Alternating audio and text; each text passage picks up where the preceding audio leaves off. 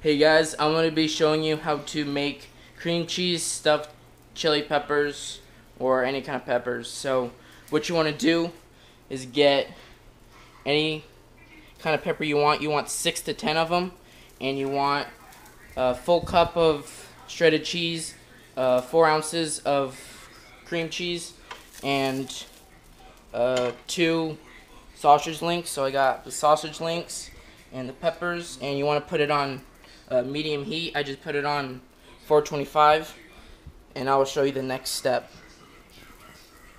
So just let these brown. You want to take half of the cup of the full cup of shredded cheese and put it in a bowl with cream cheese and put the sausage with it. And and just for this video, I'm going to do half of the recipe. Alright, so I'm going to put the chili peppers, or the chilies, in the oven. And you want to put it on high for 5 minutes. So I'm going to set the timer. Leave 5.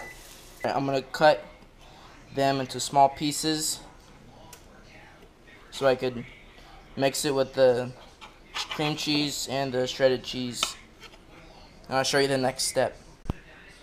Okay, so I just put the the uh, chilies back in for another five minutes on the timer. I just put them in, and I'm mixing the sausage, cream cheese, and cheese. Okay, so I just took the peppers out of the oven. Okay, so I pulled the peppers out of the oven, and what I'm gonna do is I'm gonna peel the skin off of them, and then I'll show you the next step. Okay, so I skipped a few steps in the, for the video. So I put, I grabbed a baking sheet for like cookies, and then I put aluminum foil, and then I put peppers, and you're supposed to scrape out all the seeds uh, and uh, placenta out of the chilies, and you're gonna stuff the peppers with the sausage, cream cheese, and shredded cheese mixture. So I'm to do that right now, and I'll show you the next step. And when you cut the chilies, you only want to cut the first layer of the chili. So it's not all the way cut through, I just cut the top part all the way from the top to the bottom, so there's only, there's no cut at the bottom. So I'll show you the next step. Okay, so I put the, the stuff mixture into the peppers. You just want to push it down and like compact it. And then you put the remaining of the shredded cheese. And I'm using the hot pepper blend cheese to make it extra spicy. So I did that to all three of them.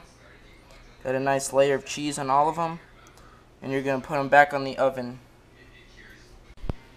Okay, so what you want to do is put the the stuffed peppers on for another uh, three to six minutes back in the oven and I'll show you the final product of this stuffed chili pepper. So I put them on for like six minutes and they're looking pretty good. So what I'm gonna do is I'm gonna eat one give one to my dad and then have one as a presentation plate.